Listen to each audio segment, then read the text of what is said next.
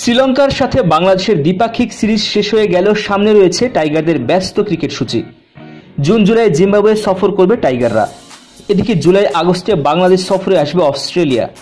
সেপ্টেম্বরে আবার ঘরের মাঠে বিশ্ব চ্যাম্পিয়ন ইংল্যান্ডের মুখোমুখি হবে টিম বাংলাদেশ।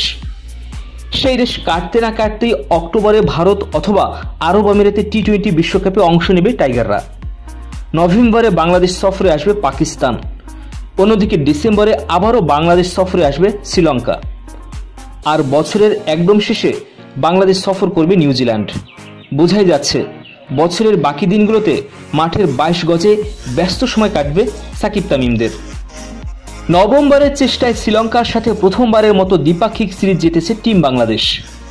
আইসিসির ওয়ানডেতে সুপার লিগের শীর্ষেও পৌঁছে গেছে তামিম ইকবালের দল। টিম বাংলাদেশের সংসারে বইছে ফুরফুরে হাওয়া। তবে টাইগারদের এই সুসময় উপভোগ করার সময় কোথায়?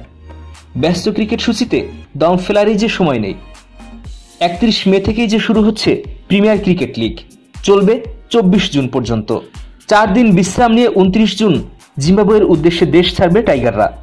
তিন জুলাই থেকে শুরু হবে দলীয় অনুশীলন। সাত জুলাই শুরু হবে দুই দলের মধ্যকার একমাত্র টেস্ট। সফরে ষোলো, আঠারো ও বিশ জুলাই তিনটি ওয়ানডে এবং তেইশ, পঁচিশ ও সাতাশ জুলাই তিনটি টি টোয়েন্টি খেলবে বাংলাদেশ।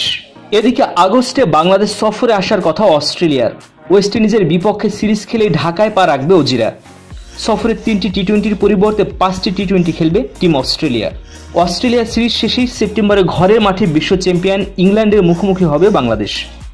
উনিশ অথবা বিশ সেপ্টেম্বর বাংলাদেশ সফর আসবে ইংল্যান্ড। তবে বিশ্বকাপের আগে গুরুত্বপূর্ণ ক্রিকেটারদের বিশ্রাম দিতে বাংলাদেশ সফরে পূর্ণ শক্তির ব্রিটিশ দল না আসার আভাস দিয়েছে বোর্ড কর্তারা। সফরে ইংলিশরা কোনো টেস্ট ম্যাচ না খেললেও খেলবে তিনটি ওয়ানডে ও তিনটি টি টোয়েন্টি এদিকে অক্টোবরে ভারত অথবা আরব আমিরাতে বসবে টি টোয়েন্টি বিশ্বকাপ দু হাজার একুশের আসর।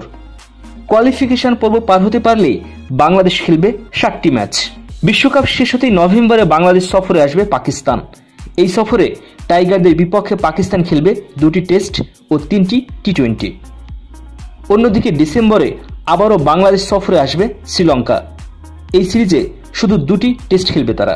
বছরের একদম শেষে বাংলাদেশ সফর করবে নিউজিল্যান্ড।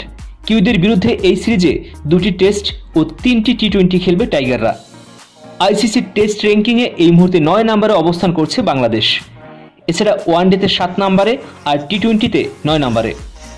দু হাজার একুশ শেষে ক্রিকেটের তিন ফর্মেটে টিম বাংলাদেশের অবস্থান কোথায় থাকে, এটাই এখন দেখার বিষয়। দিবাকর বিশ্বাস, বিডি ক্রিক টাইম।